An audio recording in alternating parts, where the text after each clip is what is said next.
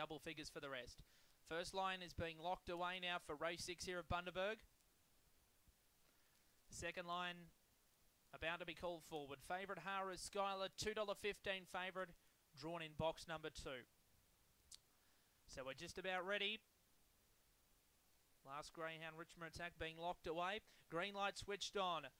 Lewis set into motion. This is race six, second leg of the quarter out of Bundaberg. Favourite drawn two, Hara Skylar ready. Racing, Hara Skylar away well. Speed from Gracious Lady pushing across. Trying to get up on the inside there was Actualize and whizzing around the outside. Roper Dope. Roper Dope found the lead. Hara Skylar back to second. Drives me crazy.